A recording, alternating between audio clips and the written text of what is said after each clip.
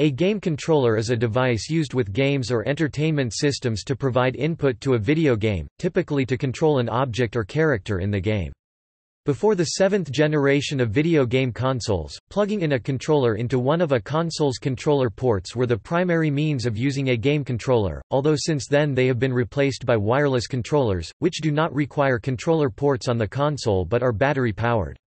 USB game controllers could also be connected to a computer with a USB port. Input devices that have been classified as game controllers include keyboards, mouses, gamepads, joysticks, etc. Special purpose devices, such as steering wheels for driving games and light guns for shooting games, are also game controllers. Game controllers have been designed and improved over the years to be as user-friendly as possible. The Microsoft Xbox controller, with its shoulder triggers that mimic actual triggers such as those found on guns, has become popular for shooting games. Some controllers are designed to be best for one type of game, such as steering wheels for driving games, or dance pads for dancing games. One of the first video game controllers was a simple dial and single button, used to control the game Tennis for Two. Controllers have since evolved to include directional pads, multiple buttons, analog sticks, joysticks, motion detection, touch screens and a plethora of other features.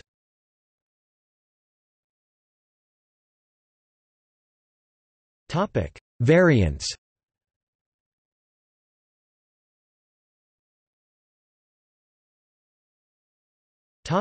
Gamepad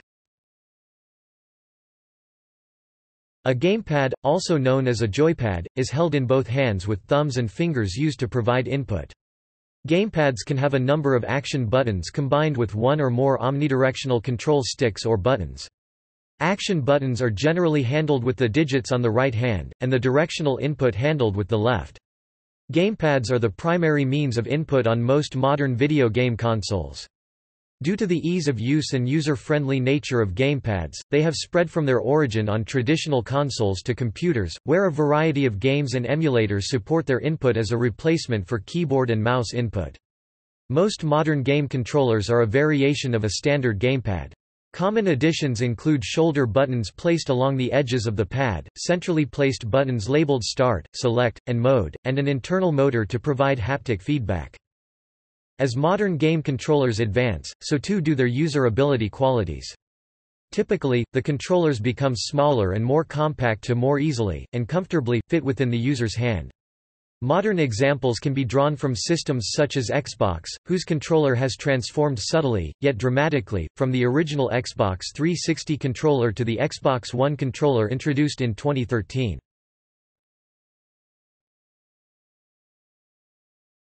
Topic: Paddle A paddle is a controller that features a round wheel and one or more fire buttons. The wheel is typically used to control movement of the player or of an object along one axis of the video screen. Paddle controllers were the first analog controllers and they lost popularity when paddle and ball type games fell out of favor. A variation, the Atari driving controller, appeared on the Atari 2600. Designed specifically for the game Indy 500, it functioned almost identically in operation and design to the regular paddle controller. The exceptions were that its wheel could be continuously rotated in either direction, and that it was missing the extra paddle included on the previous model. Unlike a spinner, friction prevented the wheel from gaining momentum.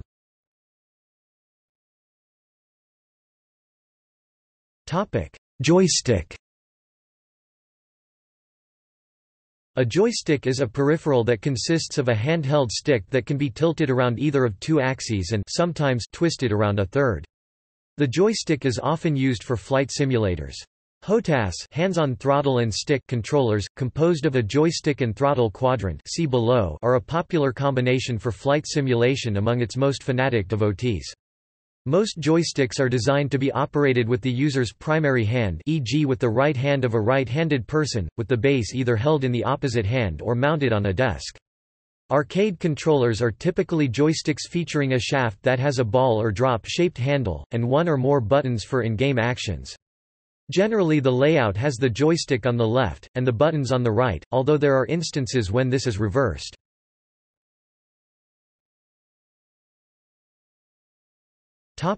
Trackball. A trackball is basically an upside-down mouse that is manipulated with the palm of one's hand. It has the advantage of not requiring a lot of desktop space, and that it is as fast as one can roll the ball on it. This is faster than one can move a mouse due to space not being an issue. It was a precursor to the mouse. Notable uses of a trackball as a gaming controller would be games such as Centipede, Marble Madness, Golden Tee Golf and Sega Sonic the Hedgehog.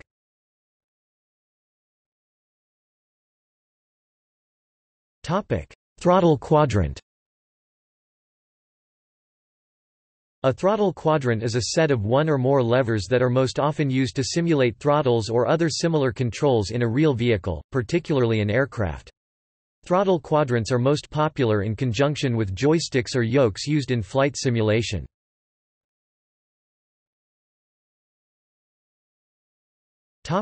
Steering wheel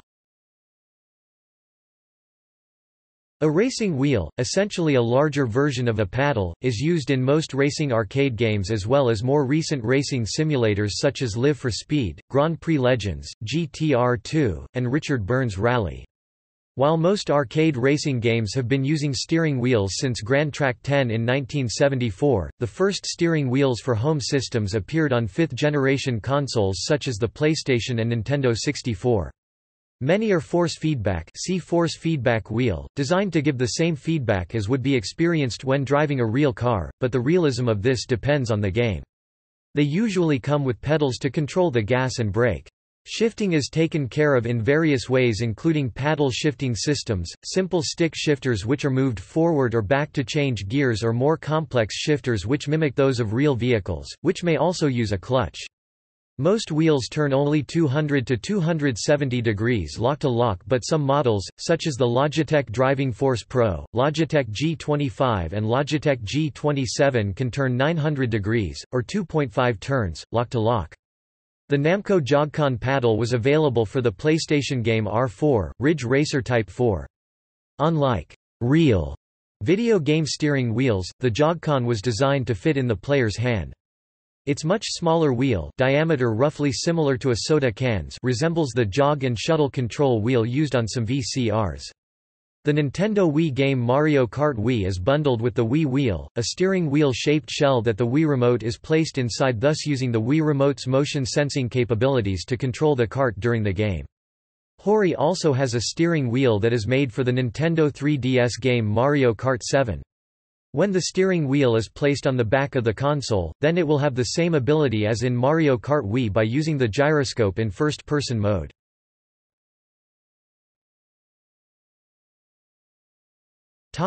Yoke A yoke is very similar to a steering wheel except that it resembles the control yoke found on many aircraft and has two axes of movement, not only rotational movement about the shaft of the yoke, but also a forward and backward axis equivalent to that of pitch control on the yoke of an aircraft. Some yokes have additional controls attached directly to the yoke for simulation of aircraft functions such as radio push-to-talk buttons. Yokes, like throttle quadrants and pedals, are popular with serious flight simulation enthusiasts.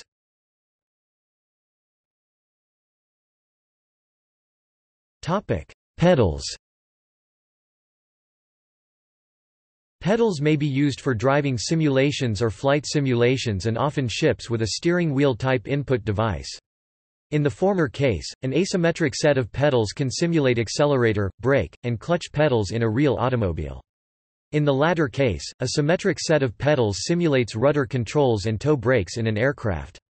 As mentioned, most steering wheel controllers come with a set of pedals. There are also variations of the pedal controller such as the proposed rotating pedal device for a cycling game, which relies on an ergometer to generate user inputs such as pedal RPM and pedal resistance. A variation of this concept surfaced in 2016 when a startup called VirZOOM debuted a set of sensors that can be installed in the pedal and handlebars, turning a physical bike into one controller for games on the HTC Vive and Oculus Rift virtual reality (VR) platforms. The same concept is behind a product called Cyber Exercycle, which is a set of sensors attached to the pedal and connected to the PC via USB for bicycle simulation games such as Netathlon and Fuel.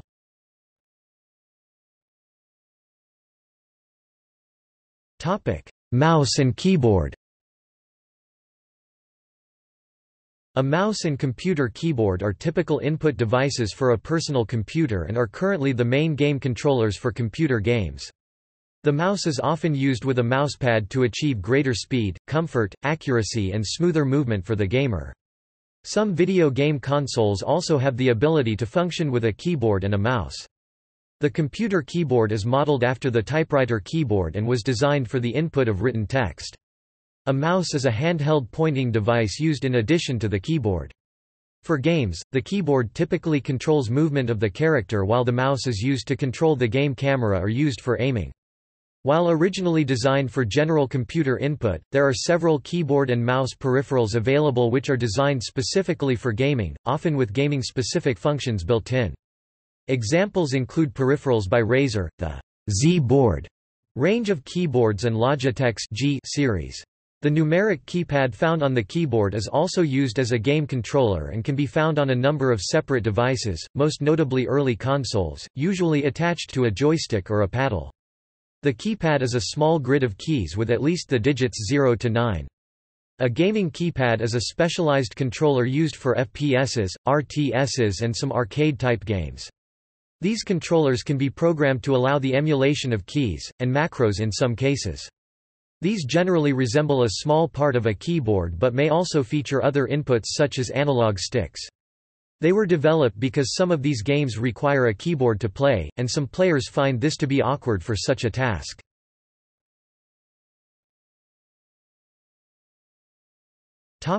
Touchscreen A touchscreen is an input device that allows the user to interact with the computer by touching the display screen. The first attempt at a handheld game console with touchscreen controls was Sega's intended successor to the Game Gear, though the device was ultimately shelved and never released due to the high cost of touchscreen technology in the early 1990s. The first released console to use a touchscreen was the Tiger Game.com in 1997. Nintendo popularized it for use in video games with the Nintendo DS and Nintendo 3DS. Other systems including the Tapwave Zodiac as well as smartphones and the vast majority of PDAs have also included this feature. The primary controller for Nintendo's Wii U console, the Wii U gamepad, features an embedded touchscreen. Modern touch screens use a thin, durable, transparent plastic sheet overlaid onto a glass screen. The location of a touch is calculated from the capacitance for the x and y axes, which varies based upon where the sheet is touched. One console that is touchscreen, but is not manufactured by Nintendo is Sony's PlayStation Vita which has a 5-inch OLED touchscreen. The Nintendo Switch features a 6.2-inch touchscreen.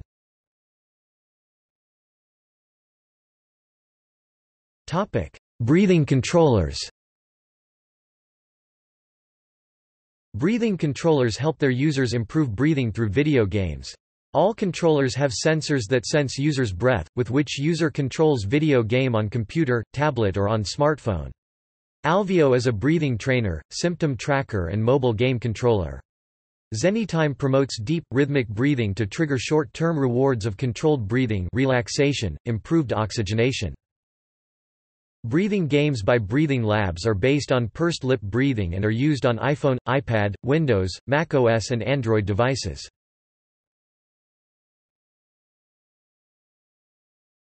Topic: Motion sensing Motion controllers include the Sega Activator, released in 1993 for the Mega Drive Genesis.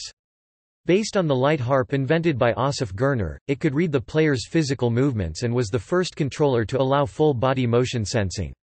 However, it was a commercial failure due to its unwieldiness and inaccuracy. Nintendo's Wii system released in 2006 utilizes the Wii Remote Controller, which uses accelerometers to detect its approximate orientation and acceleration and an image sensor, so it can be used as a pointing device. The six-axis, DualShock 3, and PlayStation Move controllers for Sony's PlayStation 3 system have similar motion sensing capabilities. In 2010, Microsoft released the Kinect for the Xbox 360. This motion sensing controller uses cameras to track a player's movement.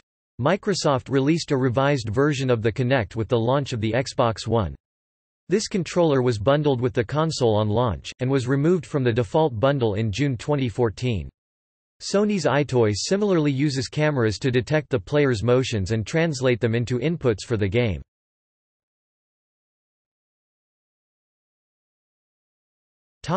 Light gun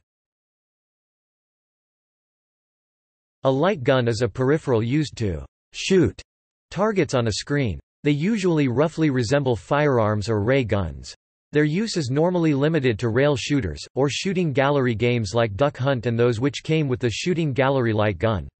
A rare example of a non-rail first-person shooter game is Taito's 1992 video game Gun Buster, a first-person shooter that used a joystick to move and a light gun to aim.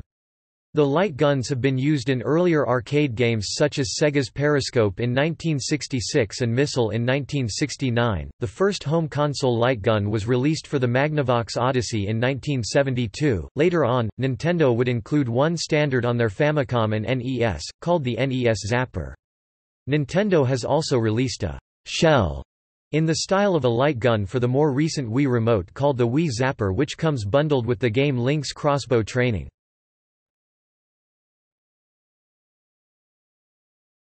Topic: Rhythm game controllers. A rhythm game accessories used for rhythm games can resemble musical instruments, such as guitars from 5-button guitars in Guitar Freaks, the Guitar Hero series, the Rock Band series to real guitars in Rock Band 3 and Rocksmith, keyboards Rock Band 3, drums Donkey Konga, Drum Mania, the Rock Band series and the Guitar Hero series, or maracas Samba de Amigo have also seen some success in arcades and home consoles. Other rhythm games are based around the art of DJing or turntablism DJ Hero, or playing a synthesizer IIDX using a turntable-shaped peripheral with buttons.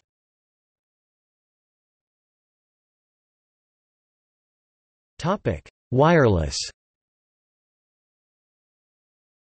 Wireless versions of many popular controller types joypads, mice, keyboards exist, and wireless motion controls are an emerging class for virtual reality. Topic Others Pinball controllers and multi-button consoles for strategy games were released in the past, but their popularity was limited to hardcore fans of the genre. Dance pads, essentially a grid of flat pressure-sensitive gamepad buttons set on a mat meant to be stepped on, have seen niche success with the popularity of rhythm games like Dance Dance Revolution and Pump It Up. The dance pad was first introduced by Bandai on the Famicom in 1986 as a part of their Family Fun Fitness set, then Exus released the Foot Craze pad for the Atari 2600 in 1987. Nintendo purchased the technology from Bandai in 1988 and used it on their Power Pad, for the Famicom and NES.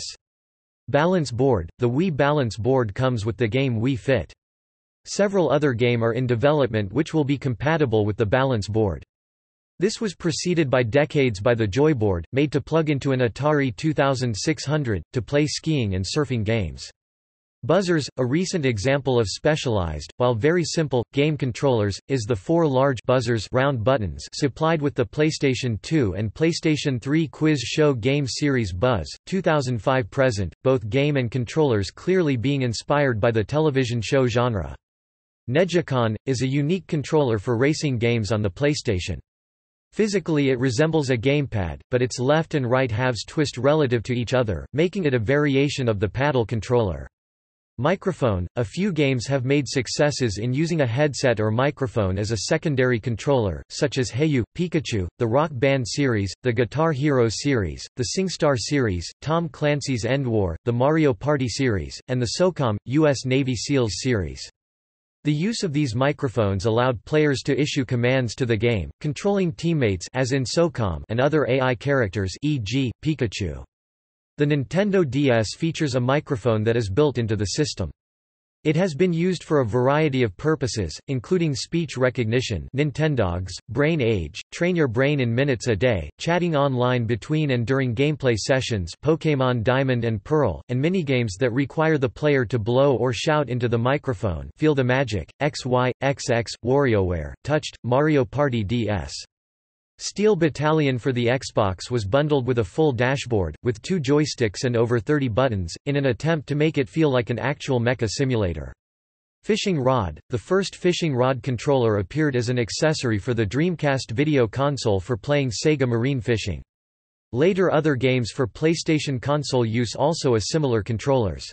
Floating interactive display, at least two commercial systems Heliodisplay and Fogscreen offer interactive floating interfaces which display an image projected in mid-air but can be interacted with by finger similar to a touchscreen. Mind-controlled headset. As of March 24, 2007 a United States, Australian company called Emotiv Systems began launching a mind-controlled device for video games based on electroencephalography. It was reported by The Wall Street Journal's Don Clark on MSNBC. PC gamerbike similar to a pair of pedals removed from an exercise bike, then set down in front of a chair and used to precisely control game characters instead. Optical motion tracking systems such as TrackIR and FreeTrack use a video camera to track an infrared illuminated or emissive headpiece. Small head movements are tracked and then translated into much larger virtual in-game movements, allowing hands-free view control and improved immersiveness. Mechanical motion tracking systems like GameTrack use cables attached to gloves for tracking position of physical elements in three-dimensional space in real time. The GameTrack mechanism contains a retracting cable reel and a small tubular guide arm from which the cable passes out. The guide arm is articulated in a ball joint such that the arm and ball follow the angle at which the cable extends from the mechanism. The distance of the tracked element from the mechanism is determined through components which measure the rotation of the spool drum for the retracting cable reel, and calculating how far the cable is extended. Exoskeleton controllers use exoskeleton technology to provide the player with different responses based on the player's body position, speed of movement, and other sensed data. In addition to audio and visual responses, an exoskeleton controller may provide a controlled resistance to movement and other stimuli to provide realism to the action. This not only lets players feel as if they are actually performing the function, but also helps reinforce the correct muscle pattern for the activity being simulated. The Forstec XIO is an example of an exoskeleton video game controller. Instrument panels are simulated aircraft instrument panels, either generic or specific to a real aircraft, that are used in place of the keyboard to send commands to a flight simulation program. Some of these are far more expensive than all the rest of a computer system combined. The panels usually only simulate switches, buttons, and controls, rather than output instrument displays. Train controls, other instrument panel-like hardware such as train controls have been produced. The Raildriver, for example is designed to work with trains, Microsoft Train Simulator and Kuju Rail Simulator. As of January 2009 it is limited in ease of use by the lack of a Windows API for some of the software it is designed to work with. A train controller for a Taito Bullet Train Sim has also been made for the Wii console. ROB Robotic Operating Buddy is an accessory for the Nintendo Entertainment System NES, which allowed players to interact with NES games by controlling the robot. Known in Japan as the Famicom Robot, this short-lived accessory jump-started Nintendo's involvement in the Western market, though only used for stack-up and gyromite.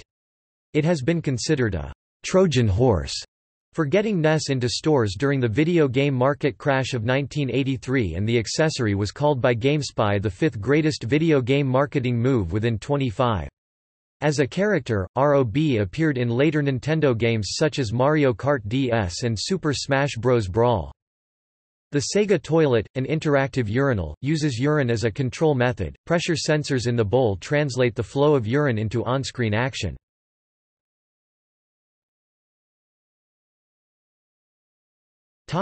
Use on PCs Gamepads typically require device drivers if used on contemporary personal computers. The device may be treated as its own class of human interface device, or by use of a program known as a gamepad translator or gamepad mapper translated to keystrokes or mouse actions. An example gamepad translator for Microsoft Windows is Xpadder, or Antimicro which is free and open source and cross-platform. Sometimes support for mapping to different devices is built into the controller itself, as with the Nostromo SpeedPad N52, which can act as either a keyboard, mouse, joystick or as a hybrid between the three.